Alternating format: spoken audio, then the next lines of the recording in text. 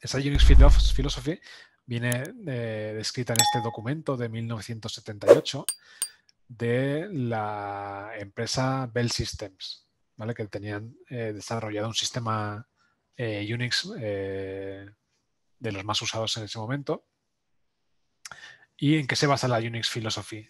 se basa en que los programas de la línea de comandos se, definen con que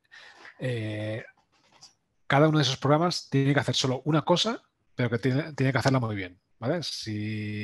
No tiene que hacer virguerías, ¿vale? Solo, solo la cosa que, para la que se ha programado. Eh, esos programas, los programas de, la, de, Unix, tienen que poder trabajar juntos de alguna manera. Ya veremos cómo.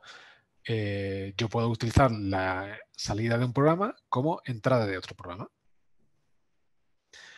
Eh, y puedo hacer que los programas, eh, o tengo que hacer que esos programas puedan recibir eh, inputs como texto.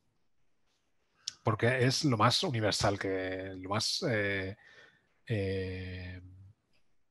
familiar para una persona, para, una, para, un humano, cuando le envía datos a un programa, se lo tiene que enviar como texto, no se lo puede enviar como ceros y uno.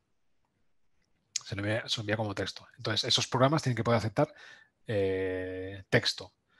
Entonces ya veréis que todos los programas mm, que vamos a trabajar ahora permiten tener como entrada eh, cosas, eh, inputs de texto y tener, manejar salidas también que sean texto.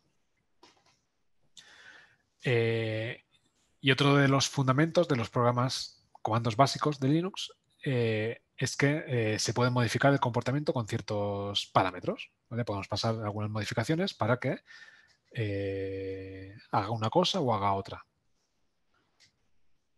Más, más, que haga una cosa o haga otra, que haga una cosa de una manera o haga la misma cosa de otra manera. Porque un programa solo hace una cosa.